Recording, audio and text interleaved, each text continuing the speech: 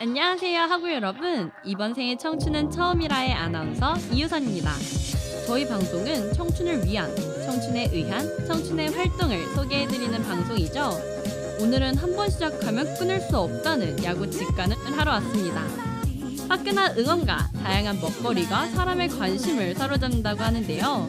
오늘은 우리나라 대표 구장인 서울 잠실 야구장에서 야구 직관 체험을 하러 왔습니다 좌석 예매부터 먹거리까지 한번 지금 출발해 볼까요?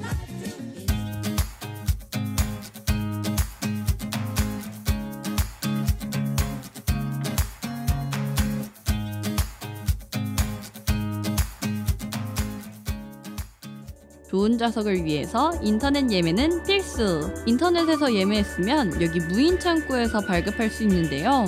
온라인 무인 발권 시 필요한 정보는 예매 번호, 생년월일, 휴대폰 전화번호라고 하네요. 여기서 잠깐! 야구 예매에 있어 가장 중요한 것은 뭐니뭐니 해도 좋은 좌석을 선점하는 것. 아직 야구 직관은 생소해서 어떤 좌석을 고를지 모르시겠다고요? 그럼 제가 알려드릴게요. 선수들을 제대로 보고 싶으시다면 프리미엄석, exciting zone, blue석으로 응원단 가까이에서 응원하면서 경기를 보고 싶어 하시는 응원바라기시라면 홈팀의 경우 1루 레드석 206, 207블럭과 네이비석 307, 308블럭으로 원정팀의 경우 3루 레드석 220, 221블럭과 네이비석 328, 329블럭 테이블이 있는 자리에서 야구장 먹방 한번 찍어보고 싶다 하시면 프리미엄석과 테이블석 저렴한 표로 방해 없이 친구들과 여유롭게 관람하고 싶으시다면 외야석으로 가시면 될 것 같아요.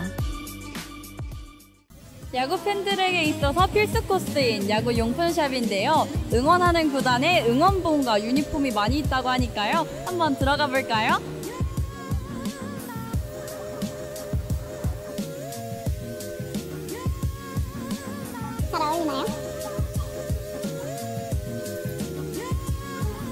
경기 중간에 나와서 먹거리를 사실 수도 있는데요. 경기 전에 사서 들어가시는 게 가장 좋겠죠?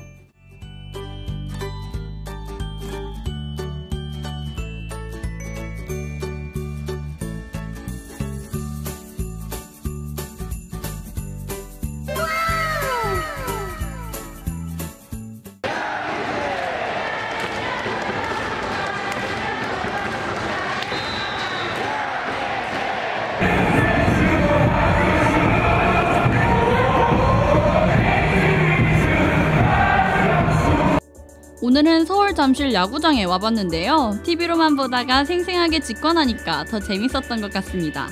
여러분은 어떻게 보셨나요? 이제 저희의 마지막 코너인 청실랭인데요.